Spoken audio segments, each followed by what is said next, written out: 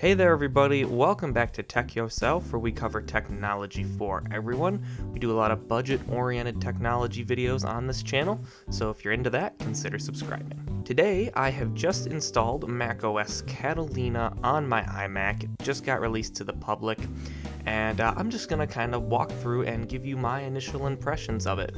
It just finished installing, and I haven't done anything on the computer. Uh, this is a release I've been quite excited for. I think it brought, you know, some well needed changes to the macOS operating system. So uh, let's get started. The first thing, and I say this with every release, but I really love this background. When this one popped up, I was impressed. It looks really, really nice, and uh, they always do on Apple's displays. But I just see, I'd like to see, I think this is the dark version because it's dynamic wallpaper. I would like to see what the daytime version looks like. Let's see. That's nice. I like that. I like that one a lot. That's honestly my favorite one so far. Looks like we got some other ones there. Uh, that's... That one hurts the eyes a bit, so we'll stick with this one. I like that. We'll keep it like that for now. Uh, but let's see. The big, the big parts here, I guess, are these apps down here. They've gotten rid of iTunes finally. I mean, finally for, you know, those of you who didn't, you know, like it and thought it was cluttered. I am one of those people.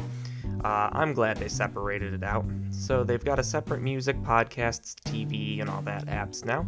So I want to kind of see what the new music looks like. Oh, it sees my iPhone. Okay, that's clean.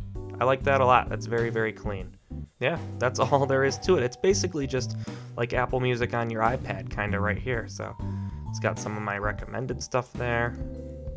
Some Harry Connick Jr. Yeah, I like it.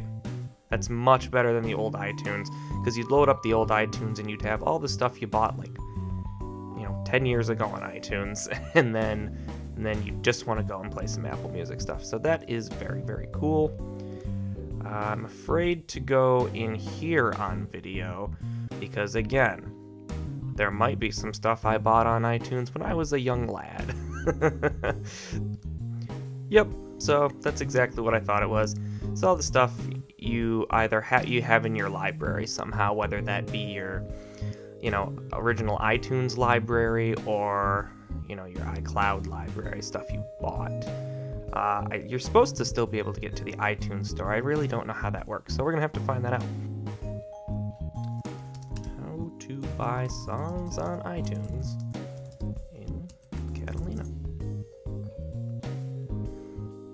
The iTunes store on Mac can easily be found in the improved sidebar. No, it can't. That's interesting. Okay. Oh, show iTunes store. Wow, they really they really do. You can tell they want they want you to move to streaming, obviously, because they hide that. Let's do that. Ah, there we go. Yep, so you just enable that, go to the iTunes store. Yep, there you go. It basically looks like the old iTunes. Let's go to the kind of want to try the podcasts app now. Let's go do that. Um, sorry, keep Chrome. Podcasts.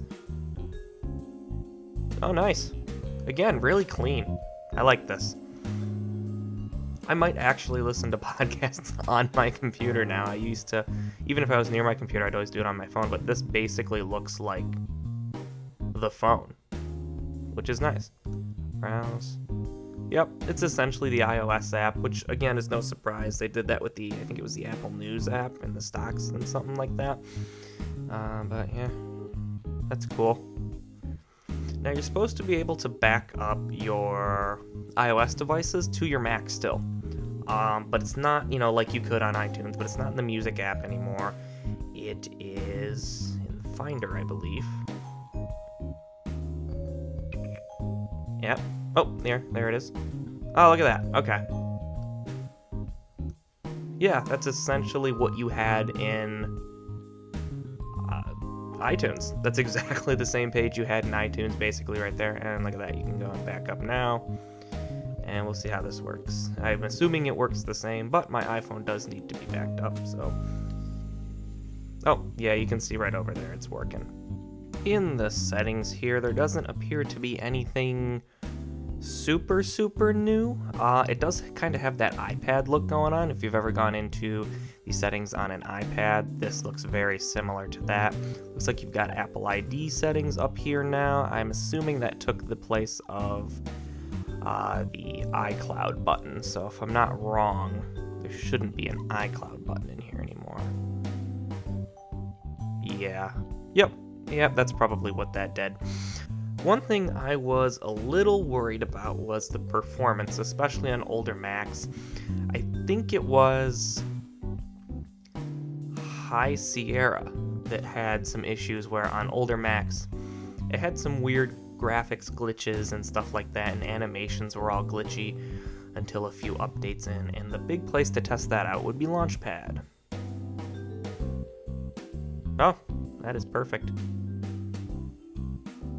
Yeah, that's nice and smooth. I like it. Now, I also wanted to try out, I wanted to see Apple Arcade, but I'm gonna just take a quick look at the TV app here for a second, and that's, I mean, that's, you know, pretty much what I expected. It's what it is. You've got Apple TV exclusives, and then you've got the services you can sign up for and pay through, you know, pay for through your Apple ID and all that. So nothing Nothing surprising here. Go to the App Store. I believe that's where Apple Arcade is. Got Play. Ah, there we go. Arcade. Yeah, this app doesn't look a whole lot different. Looks like it just got a little facelift. Alright. Yeah, so Apple Arcade is in there, and you get a month free, so stay tuned because I think that is going to be another video coming up here. I'm not only going to try out some of these games, but we're going to see how well they run and how well, I guess, optimized they are even for older machines. So that'll be a fun video. Definitely stay tuned for that. So yeah, overall my initial impression is I, I really like it. Uh, there's not a whole lot of, you know, like glitchy behavior going on up front, which I've experienced with some of the other upgrades. It seems pretty polished, refined.